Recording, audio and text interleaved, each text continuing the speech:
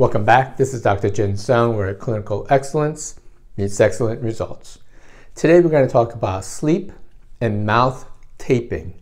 What is it? What are some of the benefits? What are some of the drawbacks? And will it improve our sleep quality? So let's get right into it. Dr. Konstantin Pavlovich Buteyko is the one who created the idea of nasal breathing back in the 1950s or 60s. If you breathe through your mouth, there can be issues with development, facial growth or proper facial growth, occlusion of the teeth or malocclusion, increases cavities because of pH issues, gum disease, as well as increasing carbon dioxide basically to our brain. How do we know if we are a mouth breather?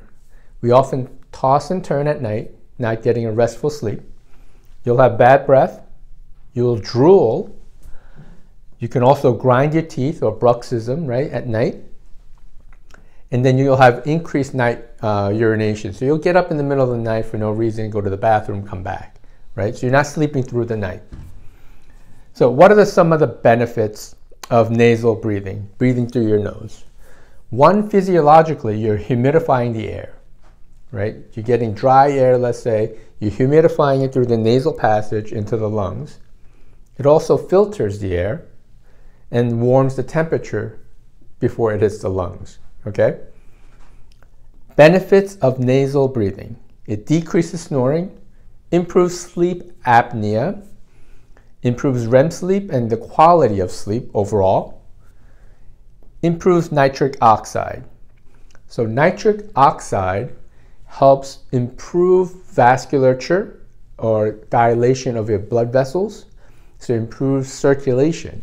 So nitric oxide, when, it, when oxygen hits the paranasal sinuses, it creates nitric oxide.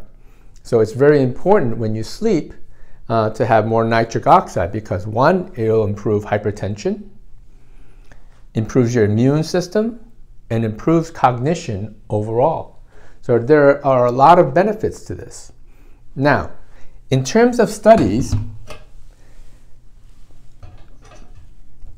There are not many.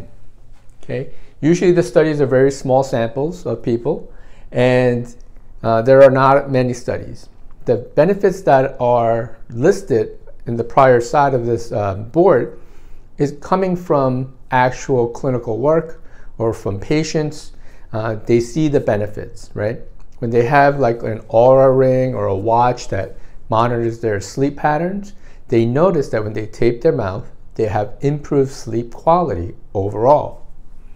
Now, with the studies, they did one on asthma and they saw no change. They did one where they wanted to see how um, nasal breathing would impact the prefrontal cortex.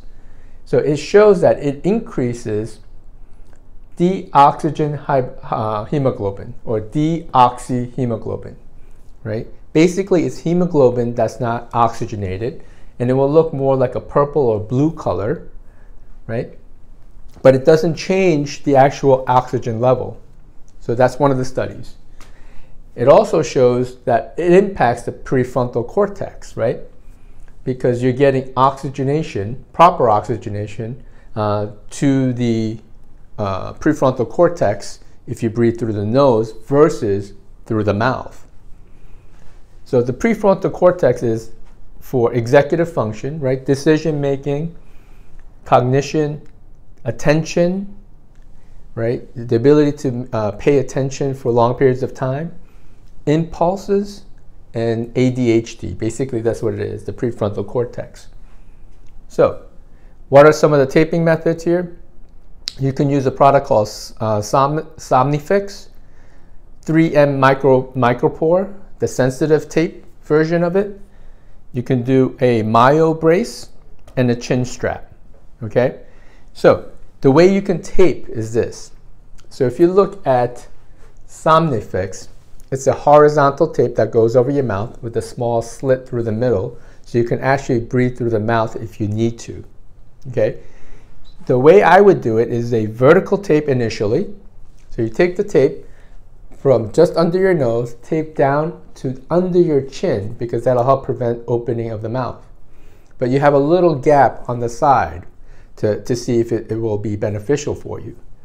So you can do a vertical tape, or you can do a cross tape across the mouth, and again, it gives you a little bit of room to breathe if necessary. You can do the horizontal tape all the way across, right? Uh, that's for people who are pretty confident they can breathe through their nose. Um, and you can cross horizontally. The Somnifix has a little slit in the middle, it lets you breathe if necessary, right? The whole idea of the taping is really just about keeping the mouth closed, right? Uh, retraining your brain to keep your mouth closed at night when you're sleeping so you can breathe through your nasal passages and get all the benefits of breathing through the nose, okay? Now, there's going to be some concerns here. If you have nasal congestion, right, you have blocked sinuses, you probably can't do this, right? You have to get that medically cleared first. If you have polyps that block the sinuses, you may not breathe appropriately, so you have to be careful. And then there are some people who have vascular issues, meaning when they lie down, the blood vessels in their sinuses fill up and they can't, uh, they feel like they can't breathe through their nose. So some individuals need to be careful. Also, when you have like really bad sleep apnea, uh, you have to be careful. But you can use taping with um, a CPAP machine, right? If you have a, a CPAP that goes into the nose area, you can't go ahead and tape your mouth underneath. However, you have to talk to your physician about that. Okay, so there's a lot of benefits to it, um, but the studies are not there yet. So there probably need to be uh, larger studies to show all the benefits that we talked about. But it's worth a try if you have really poor sleep, and really there's not many drawbacks to trying it. I would suggest doing maybe 30 days uh, to get an idea if it's going to help you.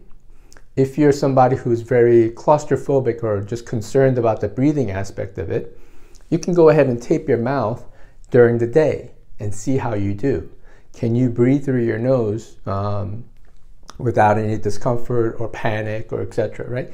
So you want to be able to do that during the day before you try it at night. If you're one of those individuals who are concerned about just blocking off the mouth. All right. My name is Dr. Jin Sung, where clinical excellence meets excellent results, and we'll see you guys next week on the healthy side. Have an awesome day.